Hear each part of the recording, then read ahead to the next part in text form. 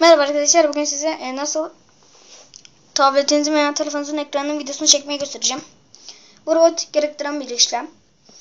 Bu yüzden e, robot yapmayı ben size göstermiştim. Hatta en başta göstermiştim. Kolay robot yapma. En baştaki videomda var bu.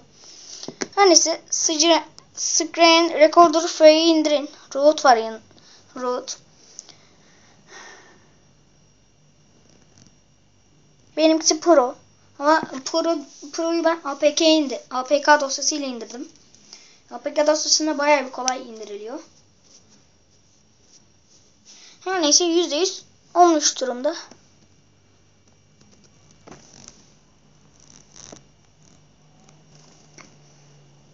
Yüklenmiş. Açtığınızda e, gördüğünüz sürece böyle bir yer çıkacak. Bu yer bu yerde e, şu en baştakine tıklayacaksınız. Sunucu olan.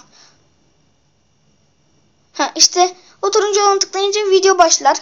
Kapatmak için de şimdi ben videoyu kapatacağım. Aynısını yapın.